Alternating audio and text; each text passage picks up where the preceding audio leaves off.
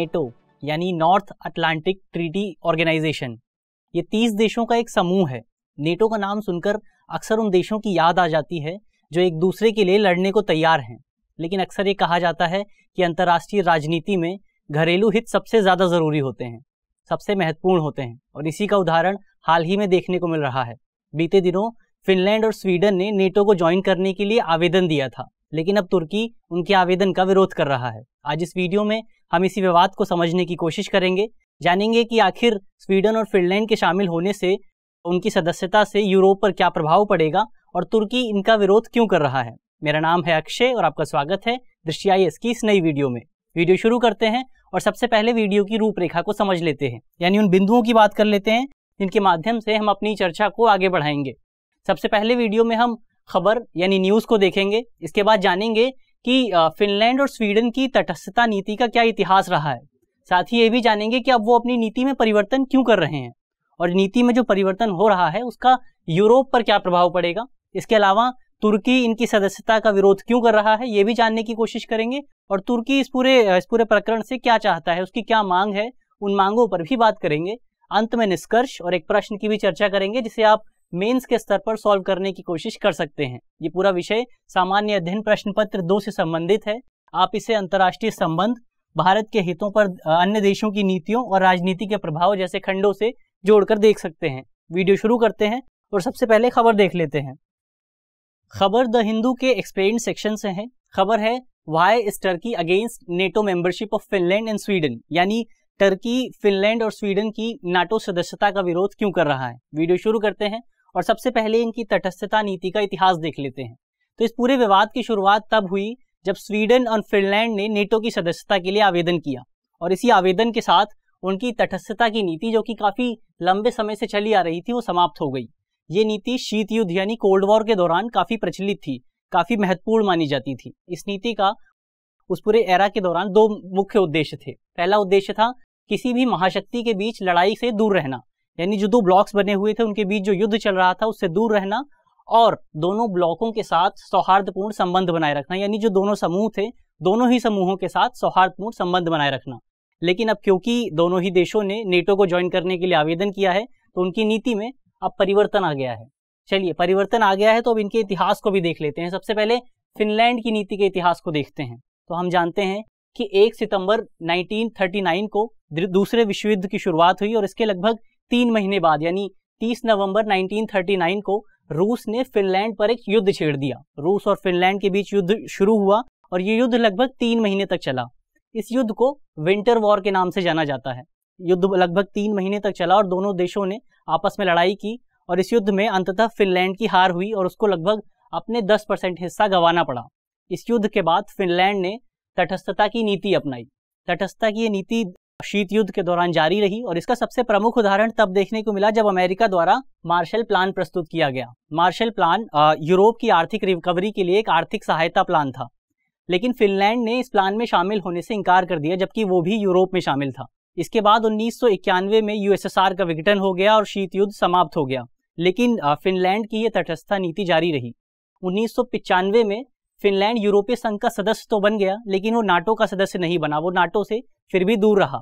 लेकिन फिनलैंड की इस नीति में थोड़ा बहुत परिवर्तन तब आया जब साल 2014 में रूस ने क्रीमिया का अधिग्रहण कर लिया। इसके बाद फिनलैंड ने अपने सैन्य खर्च में कुछ बढ़ोतरी की और उसकी नीति में कुछ परिवर्तन देखने को मिला। ये तो हुई फिनलैंड की बात। अब एक बार स्वीडन की भी बात कर लेते हैं। स्वीडन की तटस्थता नीति की शुरुआत 19वीं सदी के आसपास हुई थी। ये जो उसकी नीति रही वो द्रुत विश्व युद्ध और शीत युद्ध के दौरान भी जारी रही।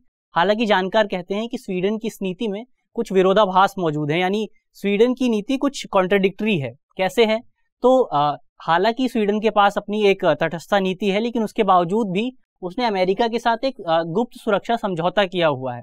इसके अलावा स्वीडन हमेशा अपनी न्यूट्रलिटी की पॉलिसी के हिस्से के तौर पर डिसआर्मामेंट का समर्थन करता रहा है, लेकिन इसके बावजूद भी स्वीडन के पास एक काफ़ी बड़ा हथियार निर्माण उद्योग मौजूद है, जो स्वीडन को काफ़ी लाभ प्रदान करता है, जो कि इसके कॉन्ट्रडिक्शन को दर्शाता है। इसके अलावा स्वीडन ने नाटो के कई अभियानों में भी हिस्सा लिया है, जिसमें अफ़गानिस्तान, लीबिया और सीरिया के अभियान शामिल हैं। तो इस तरह से इन दोनों की तटस्थता नीति का एक बहुत ही महत्वपूर्ण इतिहास रहा है। अब बात करते हैं कि इनकी नीति में अब परिवर्तन क्यों आ रहा है। तो हमने देखा कि ये दोनों दोनों ही देशों के पास एक पारंपरिक रूप से तटस्थ नीति रही है।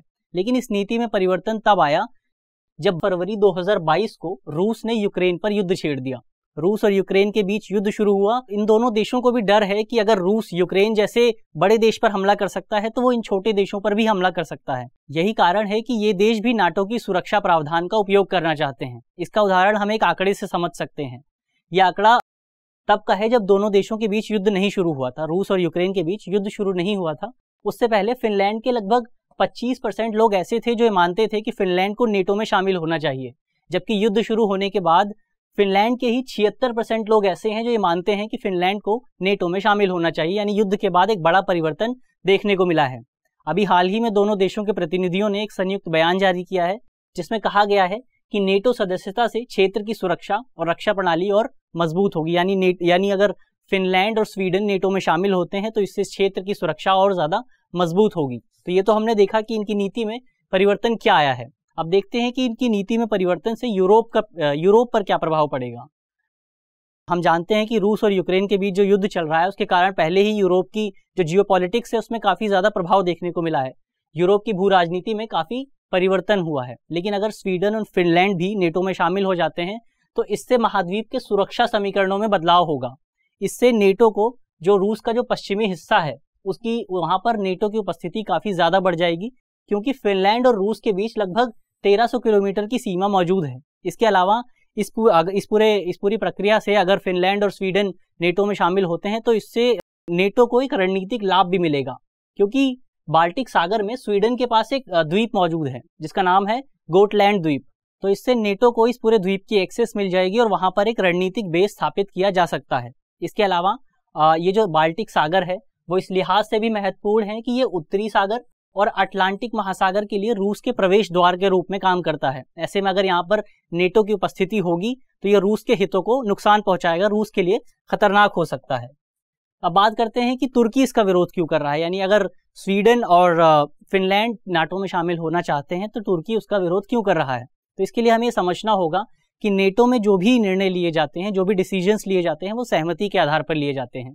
यानी अगर स्वीडन और फिनलैंड को नेटो में शामिल होना है तो उसे सभी सदस्यों की सहमति की ज़रूरत है। और यहीं पर तुर्की पिक्चर में आता है। तुर्की नेटो की दूसरे सबसे बड़ी सेना है। इसके अलावा तुर्की नेटो के पारंपरिक रूप से नेटो के विस्तार का समर्थन करता रहा है और यहाँ तक कि वो यूक्रेन और जॉर्जिया को भी नेटो में शामिल करने की बात करता रहा है। लेकिन अब ऐसे में सवाल है कि अगर तुर्की यूक्रेन और जॉर्जिया जैसे देशों को नेटो में शामिल करने की बात करता रहा है, उनका समर्थन करता रहा है तो आखिर स्वीडन और फिनलैंड के साथ क्या समस्या है? समस्या है उनका आतंकवाद को समर्थन। तुर्की का आरोप रहा है कि ये दोनों देश आतंकवाद का समर्थन करते हैं। तुर्की के राष्ट्रपति एर्दोगन के बयान की माने तो स्वीडन और फिनलैंड प्रतिबंधित कुर्दिस्तान वर्कर्स पार्टी या पीकेके का समर्थन करते रहे और यही वजह है कि तुर्की इन दोनों देशों की सदस्यता का समर्थन नहीं कर रहा है। अब एक बार पीकेके के बारे में जान लेते हैं। तो पीकेके की स्थापना 1978 में हुई थी। ये एक स्वतंत्र राज्य की स्थापना को लेकर तुर्की में विद्रोह कर रहा है। कुर्दों के लेकर एक स्वतंत्र राज्य की स्थापना की मांग कर रहा है। इसके अलावा इस पूरे संगठन की गतिविधियों को देखते हुए तुर्की, अमेरिका और यूरोपीय संघ द्वारा इस संगठन को प्रतिबंधित भी कर दिया गया है और साल 2016 में संगठन ने तुर्की में तख्ता पलट की भी कोशिश की थी। ऐसे में तुर्की द्वारा स्वीडन और फिनलैंड पर आरोप लगाया जा रहा है कि वो दोनों देश इन विद्रोहियों को हथियार प्रदान करते हैं। इसके अलावा स्वीडन और फिनलैंड ने कई विद्रोहियों को शरण भी दी है। ऐसा तुर्की का कहना है और तुर्की ने लगभग तैतीस लोगों के लिए आधिकारिक तौर पर, यानी उन लोगों को वापस भेजने का अनुरोध भी किया है, लेकिन अभी तक इन दोनों देशों ने इस पर कोई निर्णय नहीं लिया है। यही कारण है कि तुर्की इनका विरोध कर रहा है। अब देखते हैं तुर्की चाहता क्या है, यानी तुर्की की मांग क्या है। तुर्की की सबसे पहली मांग यह है कि दोनों देश, यानी स्वीडन और फिनलैंड, पीकेके को समर्थन करना बंद करें। इसके अलावा उसकी ये भी मांग है कि पश्चिमी देश, सीरियाई कुर्द समूह को समर्थन देना बंद करें। सीरियाई कुर्द समूह उत्तरी सीरिया में इस्लामिक स्टेट यानी आईएस के खिलाफ लड़ रहा एक समूह है, जिसे पश्चिमी देशों द्वारा सहायता प्रदान की जा रही है, आर्थिक सहायता और सैन्य सहायता। लेकिन तुर्की का कहना है कि यह समूह पीकेके का ही हिस्सा है और इसीलिए तुर्की समूह का विरोध कर रहा है। इसके अलावा तुर्की F thirty five fighter jet program में शामिल होने के लिए भी इस पूरे इस पूरे घटनाक्रम का उपयोग कर सकता है। साल 2019 में जब तुर्की ने रूस से एस फोर हंड्रेड मिसाइल प्रणाली खरीदी थी तो अमेरिका ने तुर्की को इस पूरी इस पूरे प्रोग्राम से बाहर कर दिया था। लेकिन अब तुर्की इस पूरे प्रकरण का उपयोग दोबारा इस प्रोग्राम में शामिल होने के लिए कर सकता है। तो ये तो हुआ, तुर्की क्या चाहता है? अब अंत में निष्कर्ष के तौर पर बात कर लेते हैं। निष्कर्ष के तौर पर हम कह सकते हैं कि फिनलैंड और स्वीडन की सदस्यता से इस सुरक्षा संगठन यानी नेटो के आकार में ज़ाहिर तौर पर बदलाव देखने को मिलेंगे। इससे नेटो को रणनीतिक लाभ भी होगा, क्योंकि उसे उसको वो ज़्यादा क्षेत्र को कवर कर सकेगा, लेकिन इसके हमें प्रतिकूल परिणाम भी देखने को मिल सकते हैं। यानी जिस तरह से यूक्रेन जब नेटो में शामिल होने की बात कर रहा था तो रूस ने उस पर आक्रमण कर दिया। ऐसे में रूस फिनलैंड और स्वीडन पर भी आक्रमण कर सकता है, जो कि आगे आने वाले समय में इस यूरोप में एक बहुत ही भीषण युद्ध का रूप ले सकता है। ऐसे में ये ज़रूरी है कि सभी पक्ष एक साथ एक मंच पर आकर पूरे मुद्दे को एक कूटनीतिक ढंग से सुलझाने पर ज़ोर दें, ताकि मध्यस्थ और डिप्लोमेसी से इस पूरे विवाद को सुलझाया जा सके। अब एक प्रश्न की बात कर लेते हैं। प्रश्न मेंस का है और आप लगभग 250 शब्दों में इसके आंसर को लिखने की कोशिश कर सकते हैं। प्रश्न है, हालिया उदाहरण की सहायता से स्पष्ट कीजिए कि नेटो की विस्तारवादी और ओपन डोर नीति उसके समक्ष क्या चुनौतियाँ उत्पन्न कर रही है। यानी आपको कुछ ऐसे उदाहरण देने हैं जो ये बताते हैं कि नेटो की जो विस्तारवादी नीति है और ओपन डोर पॉलिसी है वो किस तरह से उसके सामने चुनौतियाँ उत्पन्न कर रही है। मुझे आशा है कि आपको इस वीडियो के माध्यम से जिन भी बिंदुओं पर बात की गई है वो समझ में आएँगे। अगर आपके प्रश्न पत्र में इससे संबंधित कोई भी सवाल आता है तो आप उसे आसानी से हल कर सकेंगे। धन्यवाद।